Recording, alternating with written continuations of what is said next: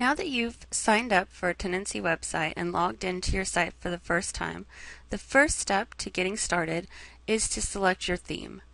The theme determines the overall layout and the colors of your website and it's important to select your theme before you start adding content and images because each theme has different sized images, different shapes of their logos and you want to make sure that you have selected what it's going to look like and then start filling in the content in those spaces.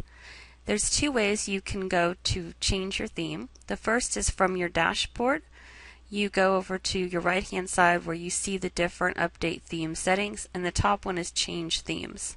You can also reach this if you're on another page than your dashboard from your admin bar at the top where you see themes. It tells you what your current theme is.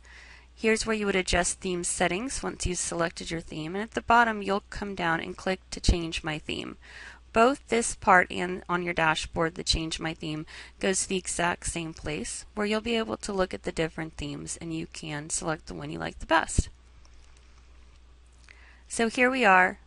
Here's the theme. It's a simple drop down. Again, the current one is PR Firm, and you can select a different one, update the settings, and here you see that now the site's changed. The size of the logo is square instead of rectangular.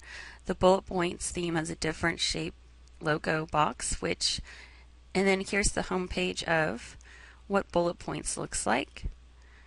If we come back to change my theme, we can also look at other ones to see which one we like best. Keep in mind some of the colors are adjustable later on in other settings, and we'll go over that in another video for theme settings. However, I'm just going to show you quickly how you can see this logo is a different width from the one that we saw originally and it's got different content spaces, a different layout. You want to find the one that fits right for you. I'm going to go back to PR Firm. That's the theme that I'd like to use to set this up. And as you can see, changing themes is very easy.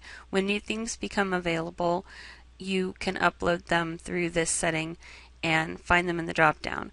Once you have selected your theme and you're ready to start adding content, we highly recommend you stick with it.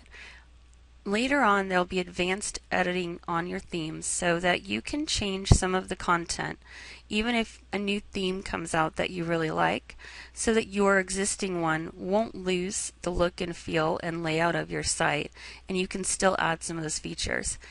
Once you've started adding content and your site's going live, changing your theme will remove some of that content if it's not available in the other themes, and you could really change the usability of your site. So make sure you're really happy with the layout before you start doing anything else. So that's how you change your themes in Tendenci.